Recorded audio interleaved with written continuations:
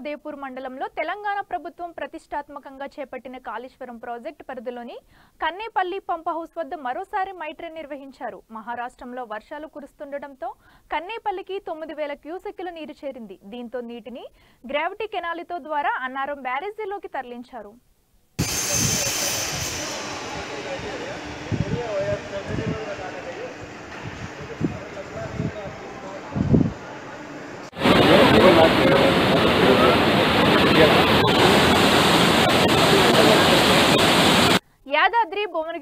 కొత్త జిల్లా పరిషత్ మండల సభ్యులతో జిల్లా కలెక్టర్ అనితా రామచంద్రన్ ప్రమాణ స్వీకారం చేయించారు. జిల్లా కేంద్రంలోని వ్యవసాయ సహాయ సంచాలకుల కార్యాలయంలో జరిగిన ఈ కార్యక్రమంలో నూతన ZP chairman Elimineti Sandeep Reddy vice chairman Daravath Bikku Naik మరియు తదితర సభ్యులు ప్రమాణ స్వీకారం చేశారు. ఈ సందర్భంగా సందీప్ రెడ్డి మాట్లాడుతూ తనకు ఈ అవకాశం ఇచ్చిన ముఖ్యమంత్రి కేసీఆర్కు కృతజ్ఞతలు తెలియజేశారు. ఎల్లప్పుడూ ప్రజలకు అందుబాటులో ఉండి ప్రజలకు సేవ చేసుకుంటానని హామీ ఇచ్చారు. స్పష్టంగా శాసనం ద్వారా ఏర్పాటు చేయబడిన భారత రాజ్యాంగం పట్ల నిజమైన నమ్మకం మరియు విధే విధేయత నిజమైన నమ్మకం మరియు విధేయత కలిగి ఉండి నేను స్వీకరించబోతున్న విధిని నమ్మకంగా నిర్వహించనని భగవంతుని మీద జిల్లా ప్రాదేశిక నియోజకవర్గ సభ్యులు మోడీని శాసనం ద్వారా ఏర్పాటు చేయబడిన భారత రాజ్యాంగం పట్ల నిజమైన నమ్మకం మరియు విధేయత కలిగి ఉండి నేను స్వీకరించబోతున్న విధిని నమ్మకంగా నిర్వహించగలని భగవంతుడి పేద ప్రమాణం చేస్తున్నాను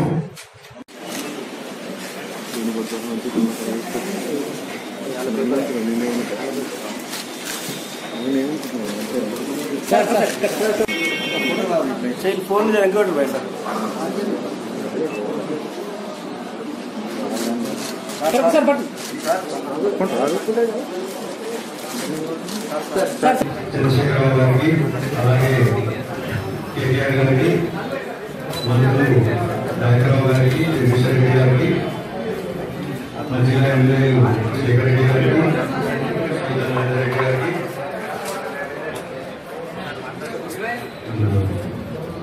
లింగయ్య గారికి కాదర్ కిషోర్ గారికి అలాగే ఎమ్మెల్సీ రెడ్డి గారికి చిన్నరెడ్డి గారికి తండ్రి ప్రభాకర్ గారికి మిగిలిన పార్టీలందరికీ హృదయపూర్వక నమస్కారాలు తెలుపుకుంటూ కృతజ్ఞతలు తెలుపుతున్నాను మరి గతంలో మాధవరెడ్డి గారు ఎలాగైతే ఈ ప్రాంతాన్ని అభివృద్ధి చేశారో వారి ఆదర్శంగానే నేను కూడా వారి వారి తీటుగా చేసే ప్రయత్నం చేస్తాను ముఖ్యమంత్రి గారు నా మీద పెట్టిన నమ్మకాన్ని వారు అనుకున్న దానికన్నా ఎక్కువ కూడా పనిచేసి జిల్లా అభివృద్ధి పనులు నడుపుతానని తెలియజేస్తాను విశాఖ జిల్లా పాయకరావుపేటలో సీజీఆర్ఎఫ్ చైర్పర్సన్ దుంపల ధర్మారావు విశ్రాంత జిల్లా జడ్జి ఆధ్వర్యంలో విద్యుత్ వినియోగదారుల పరిష్కార సమావేశం ఏర్పాటు చేశారు. ఈ సందర్భంగా వారు మాట్లాడుతూ చాలా కాలంగా పెండింగ్లో ఉన్న విద్యుత్ సమస్యల పరిష్కారానికి సీజీఆర్ఎఫ్ కమిటీని ప్రభుత్వం నియమించిందని తెలిపారు. ఉదాహరణకు కొత్త కనెక్షన్ల వోల్టేజ్లకు దీనావస్థలో ఉన్న కరెంట్ స్తంభాల గురించి అలాగే విద్యుత్ బిల్లు సమస్య పరిష్కారం గురించి వినియోగదారులు ఈ సమస్యలను ఈ కమిటీకి తెలియపరచాలని కోరారు. ఈ కార్యక్రమంలో కమిటీ సభ్యులు K. Balaji PV Ramanarao Pandey Balaji Prasad P. Ravikumar తదితరులు పాల్గొన్నారు. మా మెంబర్స్ కూడా వచ్చున్నారు.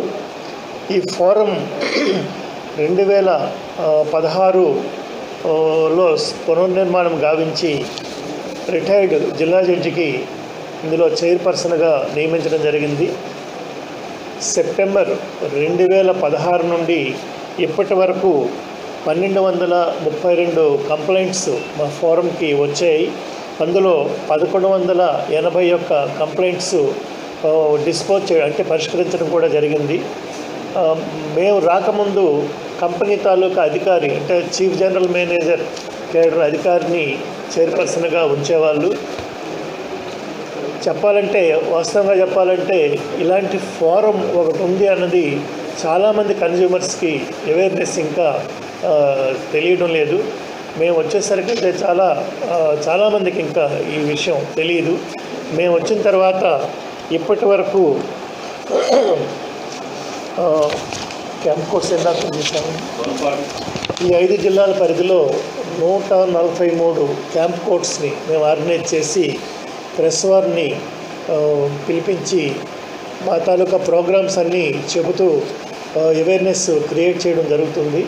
ఇప్పుడిప్పుడే కన్జ్యూమర్స్కి కొంతమందికి ఇలాంటి ఫారం ఒకటి ఉందని తెలిసి ఈ ఫారాన్ని ఆశ్రయిస్తున్నారు. సుమారుగా నెలకి నలభై నుంచి యాభై కంప్లైంట్స్ వరకు మాకు వస్తున్నాయండి. ఇప్పటి వరకు మేము డిస్పోజ్ చేసిన కంప్లైంట్స్లో ఒక నలభై ఎనిమిది కంప్లైంట్స్లో రెండు లక్షల డెబ్బై వేల రూపాయలు పరిహారం కూడా కన్జ్యూమర్స్కి ఇప్పించడం జరిగింది. కన్జ్యూమర్ ప్రత్యేకంగా విద్యుత్ వినియోగదారులు ఎటువంటి సమస్య అయినా సరే ఫోరాన్ని ఆశ్రయించవచ్చు వాళ్ళు డైరెక్ట్గా మా ఫోరంకి రావనక్కర్లేదు. కంప్లైంట్ ఒకటి వాళ్ళు దరఖాస్తు ద్వారా తయారు చేసి మాకు పోస్ట్ చేసినా సరే మేము దాని మీదను చర్య తీసుకోవడం జరుగుతుంది పరిష్కరించే దిశగా. కాబట్టి ఎలాంటి సమస్య అంటే ఎక్సెస్ బిల్లు బిల్లులు అధికంగా రా వచ్చిన ఉంటాయి. అలాగే మీకు చెప్పకుండా మీకు తెలియకుండా మీ అనుమతి లేకుండా మీ స్థలాల్లో ఎలక్ట్రికల్ పోల్స్ వేసినా సరే మీరు కంప్లైంట్ పెట్టచ్చు. అలాగే సర్వీసు కొత్త సర్వీస్ అప్లై చేసేటప్పుడు ఇవ్వడానికి తిరస్కరించిన కారణాలు ఏమైనా ఉన్నా సరే మీరు కొత్త సర్వీస్కి ఇవ్వనప్పుడు మా ఫోరాన్ని ఆశ్రయించవచ్చు అలాగే కన్జ్యూమర్ సంబంధించిన ఏ సమస్య అయినా సరే ఫోరాన్ని ఆశ్రయిస్తే మ్యాక్సిమం టూ మంత్స్ లోపలే మేము పరిష్కారం చేసే దిశగా ప్రయత్నాలు చేస్తున్నాం. కాబట్టి ఈ అవకాశాన్ని అందరూ వినియోగదారులు అందరూ కూడా ఉపయోగించవలసిందిగా కోరుతున్నాం. ఇంకా ప్రత్యేకంగా చెప్పాలేంటంటే మనకి ఈపీడీసీఎల్ పరిధిలో అంటే శ్రీకాకుళం నుంచి పశ్చిమ గోదావరి జిల్లా వరకు వన్ నైన్ వన్ టూ అనే టోల్ ఫ్రీ నంబర్ ఒకటి కార్పొరేట్ ఆఫీస్ వాళ్ళు మనకి ప్రొవైడ్ చేసి ఉన్నారు ఏదైనా తక్షణంగా అర్జెన్సీ ఉండి సమస్య ఉంటే మీరు ఆ టోల్ ఫ్రీ నెంబర్కి కానీ మీరు తెలియచేస్తే ఇమీడియట్గా వాళ్ళు కంప్లైంట్ లాడ్జ్ చేసి సంబంధిత అసిస్టెంట్ ఇంజనీర్ వారికి సమాచారం పంపించి కంప్లైంట్ పరిష్కారం అయ్యే విధంగా చర్య తీసుకుంటారు. సపోజ్ ఎక్కడో సడన్గా ఒక స్నాప్ అంటే ఒక వైర్ తెగి పడిపోయింది అనుకుందాం అప్పుడు అందుబాటులో ఎవరు లేనప్పుడు మీరు వన్ నైన్ వన్ టూ కానీ ఫోన్ చేస్తే సరే పదిహేను నిమిషాల్లో మీకు అది రెక్టిఫై చేయడం జరుగుతుందన్నమాట. కాబట్టి ఇలాంటి అవకాశాన్ని కూడా ఉపయోగించవలసిందిగా కోరుతున్నామండి. థ్యాంక్ యూ రెండు ఇవన్నీ కూడా ఏజిఎల్ బోర్వెల్స్ సంబంధించినవండి. కోటవరట్ల మండలం. ఈ ఐదుగురు రైతులకి రెండు వేల మూడులోనే సర్వీసులు ఇవ్వడం జరిగింది. వాళ్ళు ఎప్పుడో అప్పుడు అవసరం మేరకు అప్పుడు డబ్బులు కూడా కట్టారు సర్వీసులు అయితే ఇచ్చారు లైన్లు వేశారు కరెంట్ వాడుకుంటున్నారు. కానీ వాళ్ళకి సర్వీస్ కనెక్షన్ నెంబర్ ఇవ్వడం లేదు. ఇప్పుడు రెండు వేల మూడు అంటే మనం ఇప్పుడు ఎక్కడున్నాం పదిహేడు ఏళ్ళు అయిపోయింది.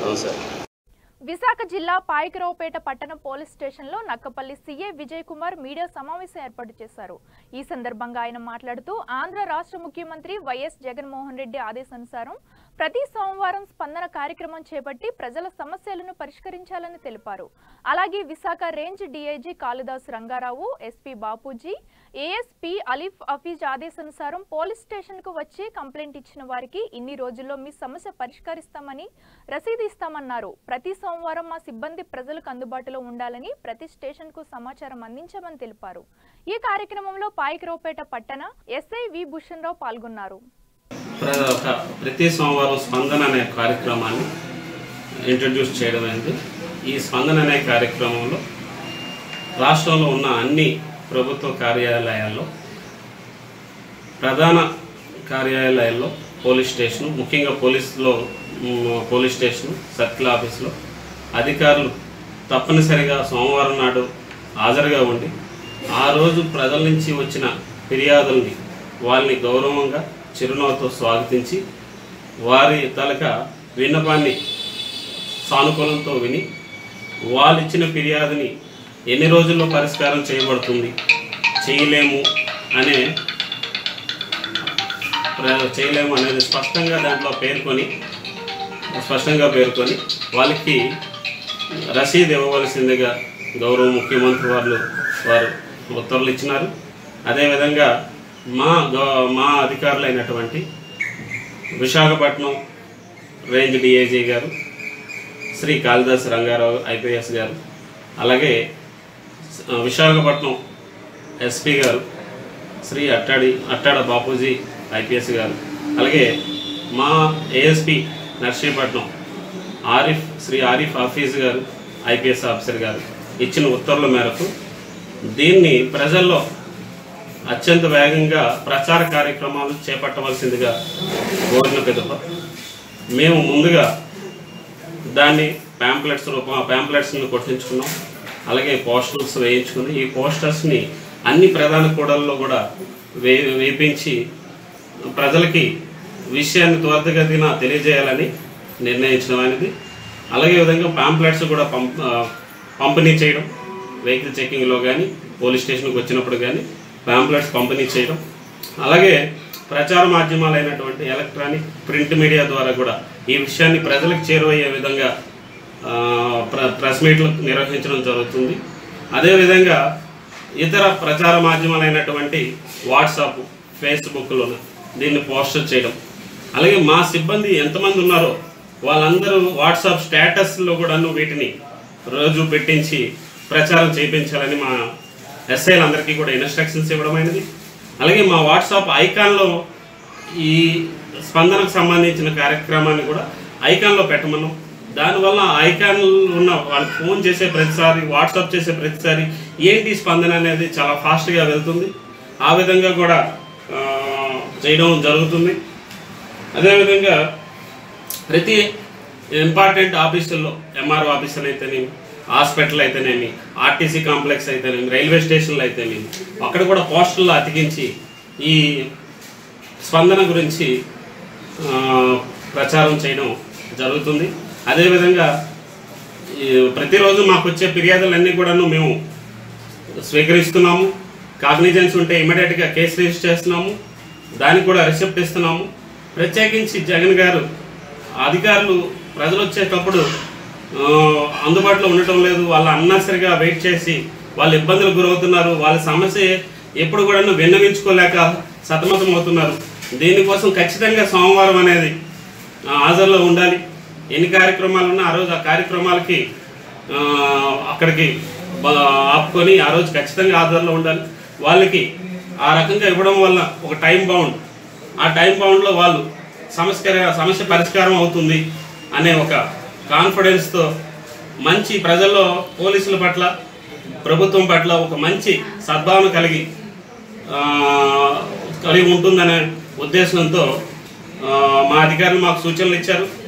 జగన్ గారి సూచనల మేరకు దాన్ని సూచన తప్పకుండా మేము అన్ని ఆ విధంగా మేము ఇన్స్పెక్టర్ అయిన నేను నా స్టేషన్లో నా సర్కిల్లో ఉన్నట్టు ముగ్గురు ఎస్ఐఎల్కి అదేవిధంగా ప్రతి సిబ్బందికి రోల్ కాల్లో ఉన్న ఈవినింగ్ ఉదయం రోల్ కాల్లో తెలియజేయడం అవుతుంది.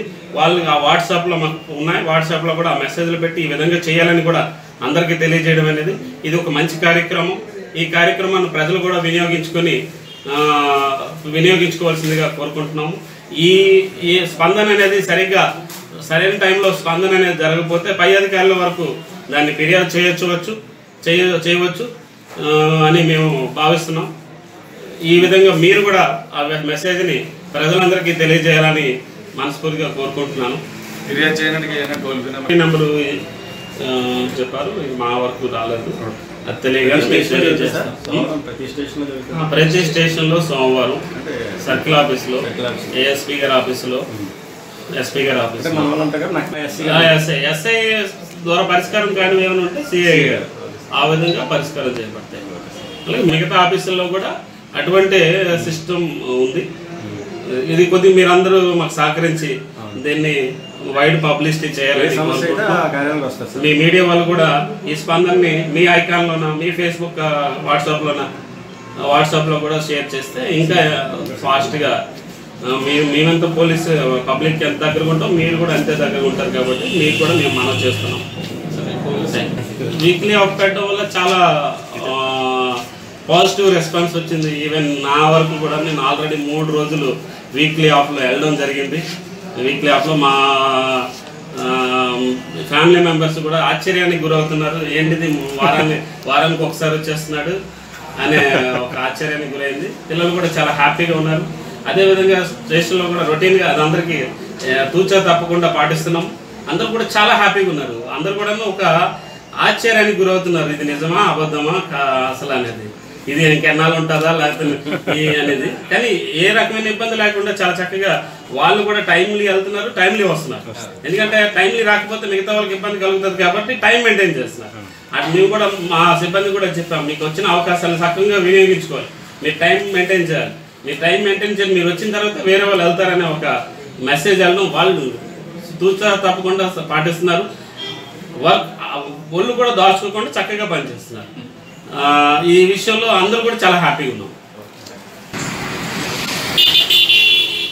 నెల్లూరు జిల్లా వ్యాప్తంగా ఉన్నతాధికారుల ఆదేశాల మేరకు గత రెండు రోజులుగా దాడులు నిర్వహించడం జరుగుతుందని ఎస్ఐ శివరాకేష్ తెలిపారు. ఈ దాడుల్లో మర్రిపాడు మిక్సిడ్ కాలనీలో పేకాట ఆడుతున్న పది మంది పేకట రాయుళ్ళను అదుపులోకి తీసుకుని వారి వద్ద నుండి ఇరవై వేల ఏడు వందల రూపాయలు నగదును స్వాధీనం చేసుకున్నామని ఎస్ఐ తెలిపారు.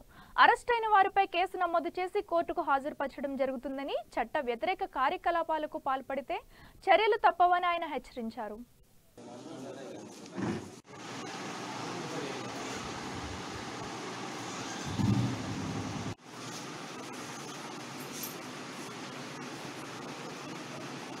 నిన్- నిన్నటి దినం నుండి గౌరవ శ్రీ డీజీపీ ఆంధ్రప్రదేశ్ గారి ఆదేశాల మేరకు నెల్లూరు జిల్లా ఎస్పీ గారు నాలుగు ఐదు తారీఖుల్లో గ్యాంబ్లింగ్ వాటికి సంబంధించిన యాక్టివిటీస్పై రైడ్ చేయమన్న ఆదేశాలకు అనుగుణంగా నిన్న ఈరోజు రైడ్లు జిల్లా వ్యాప్తంగా కండక్ట్ చేయడం జరుగుతోంది.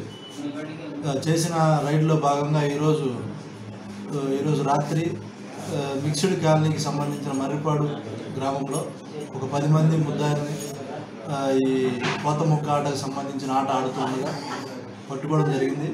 వాళ్ళ వద్ద నుండి ఇరవై వేల ఏడు వందల రూపాయల అమౌంట్ సీజ్ చేయడం జరిగింది.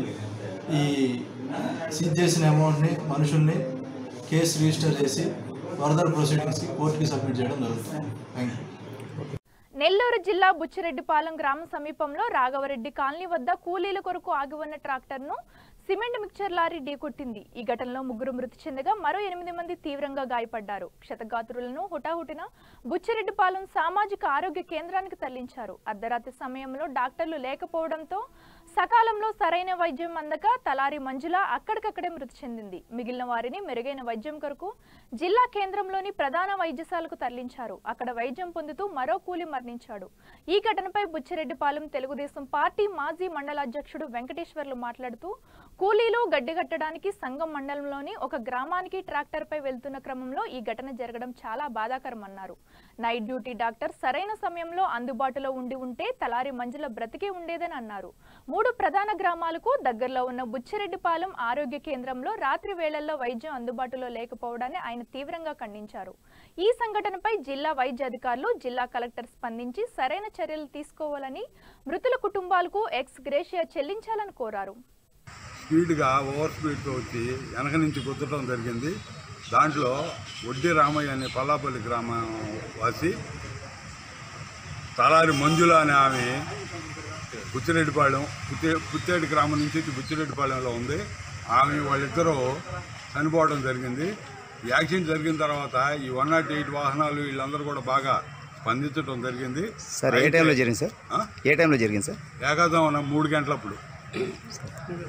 ఈరోజు ఏకాదమన మూడు నాలుగు మధ్యలో. అయితే ఈ బుచ్చిరెడ్డిపాళెం హాస్పిటల్కి ఈ డాక్టర్లు వీళ్ళ పేషెంట్లను తీసుకొచ్చిన టైంలో ఓ ఒక నర్సు మాత్రమే ఉండింది. వీళ్ళకి ప్రాథమిక శిక్ష చికిత్స చేయడంలో చాలా లేట్ అయిపోయింది. పొరవాళ్ళందరినీ వన్ నాట్ ఎయిట్లో నెల్లూరు హెడ్ క్వార్టర్ హాస్పిటల్కి పంపించడం జరిగింది. ఈ చనిపోయిన వాళ్ళిద్దరు మాత్రం ఇక్కడే ఉండ ఉండించడం జరిగింది. వాళ్ళల్లో వడ్డీ రామయ్య ఆయన హాస్పిటల్కి చేరిన ఒక ఐదు నిమిషాల లోపల చనిపోయాడు. మంజుల అనే అమ్మాయి మాత్రం నలభై నలభై ఐదు నిమిషాలు ఆ స్ట్రెచ్చర్ మీద కొట్టుకొని కొట్టుకొని చనిపోయింది.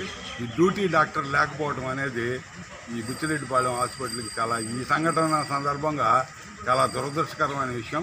డ్యూటీ డాక్టర్ ఉండుంటే ఒకవేళ సరైన ట్రీట్మెంట్ జరిగి ఉంటే ఆ అమ్మాయి వరకు బతికుండేదేమో. ఇది చాలా బాధాకరమైన విషయం. డాక్టర్లు అంటే ప్రాణాలు పోసేవాళ్ళుగా ఉండాలి. వాళ్ళ డ్యూటీలు కానీ వాళ్ళకి ఇచ్చిన టైం ప్రకారం హాస్పిటల్లో ఉండుంటే వాళ్ళకి ఈ ఈ బాధితులకి న్యాయం జరుగుండేది. వాళ్ళు లేకపోవడం చాలా బాధాకరమైన విషయం. దీన్ని ఉన్న జిల్లా ఉన్నతాధికారులు కలెక్టర్ గారు అయితే డిఎంఎండ్హెచ్ఓ గారు అయితే దీన్ని ఒకరు పరిశీలించి నైట్ డ్యూటీ డాక్టర్లు మరియు ఆక్సిజన్ వసతులు కల్పించాల్సిన అవసరం ఉంది. ఎందుకంటే ఇది మూడు మండలాలకి దగ్గర గ్రామం బుచ్చిరెడ్డిపాళెం అనేది. బుచ్చిరెడ్డిపాళెం పిఎస్ వచ్చి మూడు మండలాలకు దగ్గరగా ఉంటుంది.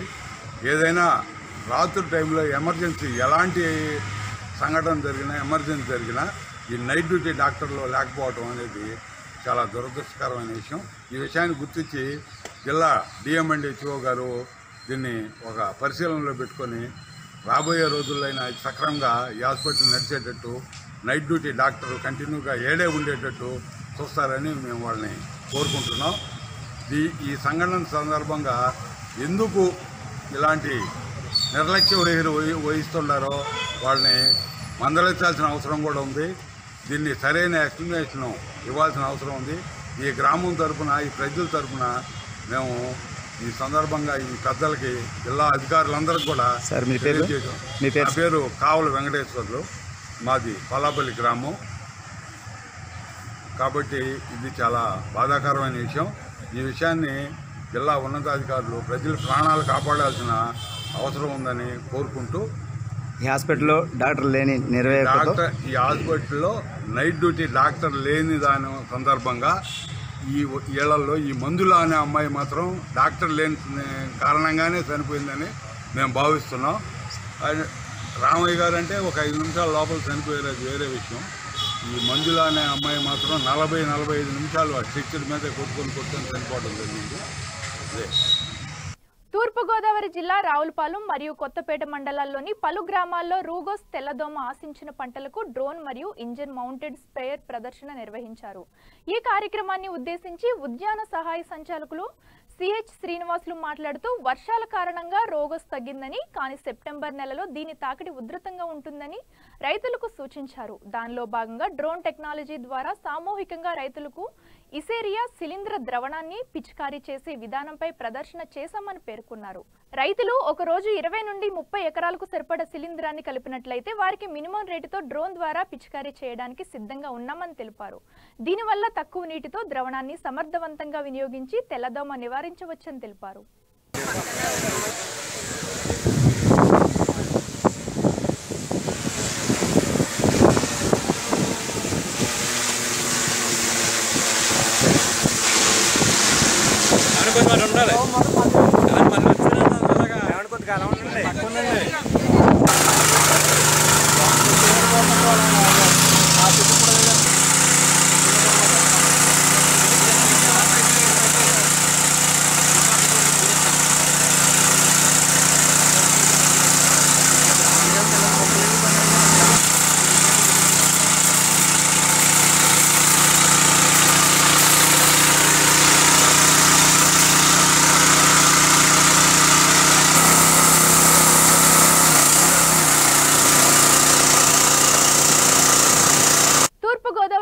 జగ్గంపేట నియోజకవర్గం గోకవరం పోలీస్ స్టేషన్లో north zone DSP Rajendra Kumar media సమావేశం ఏర్పాటు చేశారు.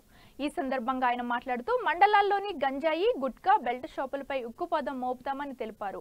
కోడిపందాలు పేకట రాయులపై కఠిన చర్యలు తీసుకుంటామని హెచ్చరించారు. అసాంఘిక కార్యకలాపాలకు పాల్పడితే ఎంతటి వారైనా విడిచిపెట్టే ప్రసక్తి లేదని ఆయన వివరించారు. దీంట్లో యాక్చువల్గా ఈ ఆరు నెలల్లోని గేమింగ్ యాక్ట్లోని అరవై కే- కేసులు పెట్టి two lakhs eighty three thousand cash two hundred eleven మెంబర్స్ని అరెస్ట్ చేయడం జరిగిందండి అలాగే cock fighting nine one two gaming యాక్ట్లోని ఇరవై కేసులు పట్టుకోవడం జరిగింది. Three lakhs thirty six thousand four hundred rupees and seventy eight ఎక్యూజ్ని arrest చేయడం జరిగిందండి అలాగే ఎంబీ యాక్ట్ కూడా చేసాం మోటార్ వెహికల్ యాక్ట్ ప్రకారం చేసాం దాంట్లోని రెండు వేల ఐదు వందల ఎనిమిది కేసులు పెట్టాం. అలాగే ఆరు లక్షల డెబ్బై మూడు వేల ఎనిమిది వందల రూపాయలు అపరాధ రుసుము కలెక్ట్ చేయడం జరిగిందండి. ఈ గుట్కా కేసెస్ ఒక ఐదు పెట్టాం దీంట్లో sixty four thousand seven hundred rupees worth gutka పట్టుకున్నాం. ఫైవ్ ఎక్యూజ్ ఉన్నాయి సెవెన్ ఎక్యూజ్ని అరెస్ట్ చేయడం జరిగింది. ఈ యారక్ కేసులు థర్టీ సిక్స్ కేసెస్ పెట్టాము థర్టీ సిక్స్ మెంబర్స్ మీద అరెస్ట్ చేయడం జరిగింది. Five hundred sixty seven five hundred ninety seven litres of IDRX seize చేయడం జరిగింది అలాగే డ్రంక్ అండ్ డ్రైవ్ కేసెస్ అరవై మూడు పెట్టాం. లక్షా పదివేలు అపరాధ రుసుము కలెక్ట్ చేశాము అలాగే గాంజా కేసు మేము వర్కౌట్ చేసాం ఒక గాంజా కేసులో ఒక కేసు పట్టుకున్నాం. దాంట్లో థర్టీ త్రీ కేజెస్ గాంజా పట్టుకున్నాం. దాంట్లో ముగ్గురు ఎక్యూజ్డ్ ఒక కారు మోటార్ బైక్ చేశామండి ఇన్వెస్టిగేషన్ ప్రాసెస్ ఉంది. మేము ఛార్జ్ షీట్ కూడా ఫైల్ చేసాం డెఫినెట్గా కన్విక్షన్ వచ్చే ఈ ముందు ముందు కూడా ఈ గ్యాంబ్లింగ్ గుట్కా ఈ గాంజా ఇట్లా అన్ని మీద ఉత్పాదన మోపుతామండి ఇది స్పెషల్గా మా డీజీ గారు మా సీనియర్ ఆఫీసర్స్ మా ఎస్పీ గారు దీని మీద ప్రత్యేకంగా దృష్టి సాధించారు ప్రత్యేక టీములు కూడా ఏర్పాటు చేయడం జరుగుతుంది. ఈ టౌన్లో ఉన్న ట్రాఫిక్ కూడా సోమవారం స్పెషల్ డ్రైవ్ పెట్టి అది కూడా నియంత్రిస్తారు. నమస్తే అండి. థ్యాంక్ యూ సార్ గుజరాత్ రాష్ట్రంలోని కోచింగ్ సెంటర్లో అగ్ని ప్రమాదం జరగడంతో అటువంటి సంఘటనలు నగరంలో పునరావృతం కాకుండా జీహెచ్ఎంసీ అధికారులు నడుం బిగించారు. జీహెచ్ఎంసీ పరిధిలోని కోచింగ్ కేంద్రాలకు ఫైర్ సేఫ్టీ నిబంధనలు పాటించాలంటూ ఆదేశాలు జారీ చేస్తూ నగరంలోని ఆరు వందల డెబ్బై ఒక్క కేంద్రాలకు నోటీసులు జారీ చేశారు. ఇప్పటి వరకు మూడు నోటీసులు ఇవ్వగా నోటీసులకు స్పందించిన కోచింగ్ సెంటర్లను జీహెచ్ఎంసీ ఎన్ఫోర్స్మెంట్ సిబ్బంది సీజ్ చేయడం ప్రారంభించారు. ఇందులో భాగంగా కూకట్పల్లిలోని పలు కోచింగ్ కేంద్రాలపై ఎన్ఫోర్స్మెంట్ అధికారులు దాడి చేసి సీజ్ చేశారు. అనంతరం ఎన్ఫోర్స్మెంట్ ఇన్స్పెక్టర్ గోవర్ధన్ రెడ్డి మాట్లాడుతూ మొత్తం మూడు బృందాలుగా ఏర్పడి మెహదీపట్నం చందానగర్ కూకట్పల్లిలోని కోచింగ్ సెంటర్లపై దాడి చేసినట్లు తెలిపారు. కూకట్పల్లిలోని ముప్పై ఏడు కోచింగ్ సెంటర్లు సీజ్ చేశామని మరో తొమ్మిది సెంటర్లు సీజ్ చేయాల్సి ఉందని వెల్లడించారు.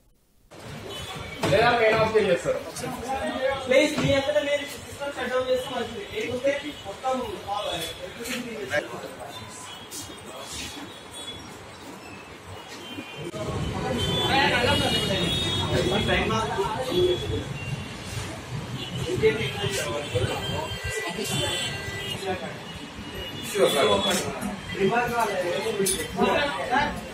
रिमार्क वाले देखा थे रिमार्क है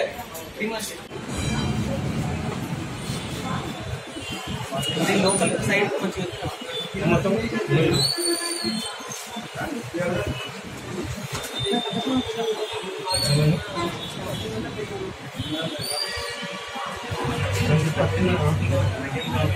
ఇవి ఇప్పటివరకున్న అప్డేట్స్ చూస్తూనే ఉండండి ఏఎన్ఎన్ న్యూస్